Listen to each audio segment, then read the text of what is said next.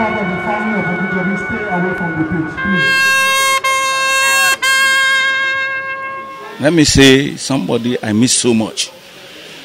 And uh, it's a great loss to Nigerian sports fraternity, especially football. I mean, it's- this kind of a person is like part of my family is gone. But uh, thank God for his life. He has a free life. I just I pray to the Almighty God to give the family the courage to bear his loss.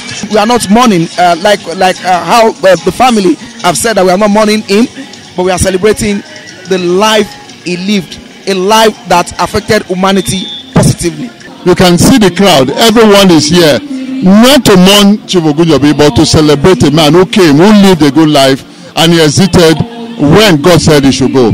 May his soul rest in perfect peace. For me, Taiwo Ogunjobi has uh, played a vital role that prosperity, posterity will continue to use him as a reference point. we we lost somebody not only in Nigeria, I think in Africa as well, and football all over the world. I mean, so sad. My prayer for him today is that his soul will rest in peace and his memory will last forever. May God have mercy on Nigeria football. That's all I have to say. But Mr. Football in Nigeria is gone. I, I feel pain because that was my best friend in football, and I feel so pain. Um, but may soul rest in peace. I pray to Almighty Allah to grant his soul. May his soul rest in perfect peace. He has been a very hard-working administrator. It's, a, it's, it's unfortunate that we, we are losing him at this early uh, age of his life. Even though he is no more, so many things we had learned from him, we have kept them. With the expectation that we will use them to better our performance, our reaction to things. He was a gentleman, very, very humble, yet professional to the core. We will miss him. He was a, a leader and um, was a humble man, a very humble man.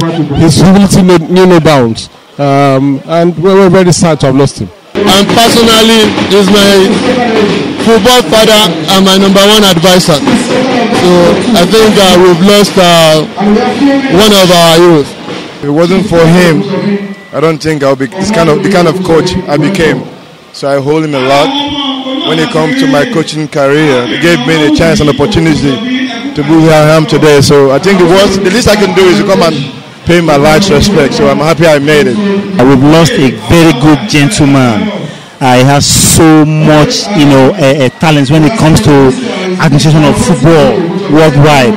So he's somebody that I ideally will miss. He has done his own. He has uh, lived a life. He has made some contributions. It's only left for us that are left behind to continue from where he left.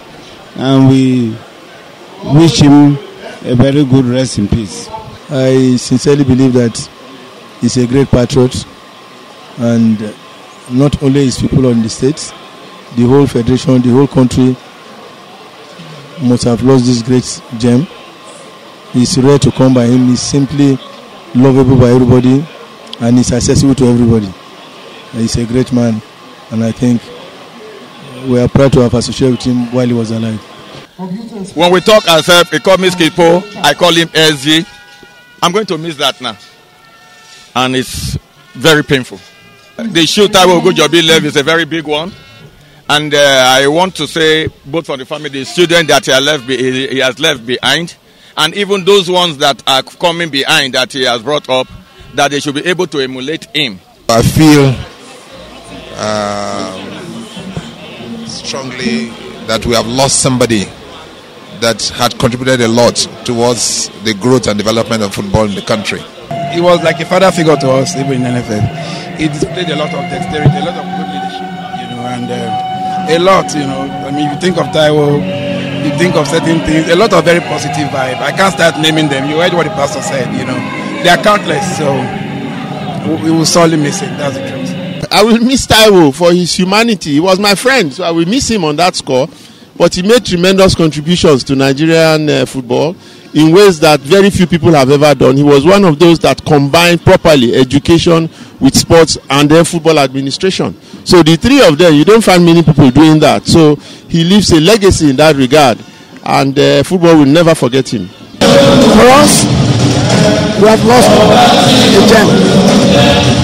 He's a legend as far as we are concerned. And Nigerian football should know that they've lost somebody like Ogunjobi. We are looking forward and we are praying to God to bless us with many more of the likes of Ogunjobi. May so rest.